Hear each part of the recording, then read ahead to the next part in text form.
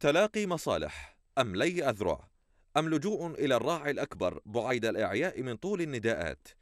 أي وصف ينطبق على مسيرة الوفود الكردية من بغداد إلى واشنطن مرورا بباريس وانتهاء بطهران؟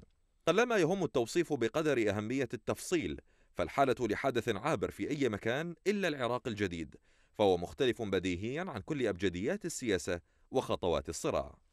زيارة نجرفان بارزاني الأخيرة لإيران حملت رسائل وبعثت أخرى. أهمها أن القوى الكردية عقب ما رأته من خذلان حليفها الأمريكي في أزمة الاستفتاء توجهت صوب قبلة شركاء العملية السياسية في إيران التي وجدت بدورها في الأجواء فرصة سانحة لتملي شروطا وفق الرؤية الإيرانية. هذا الكلام خلاصة تقرير لصحيفة المونيتور الأمريكية. المونيتور قالت إن أربيل تضحي بتحالفها مع الغرب مقابل مساعدة طهران في حلحلة المشاكل بينها وبين حكومة العبادي فضلا عن إنعاش اقتصاد كردستان المتأزم أصلا. شريطة التعهد الأخيرة بتأمين الحدود من حركة الأحزاب الكردية المسلحة المناوئة لإيران.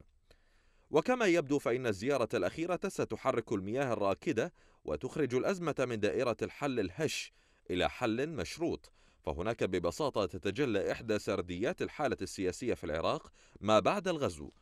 فظاهريا تسير الأمور وفق ما تشتهي طهران. لكن باطنيا إيران تنفذ إرادتها وهذا هو الجوهر الضائع والمموه في مشهد البلاد السياسي وهو ذاته محل صراع بدأ ولا يتوقع له أن ينتهي.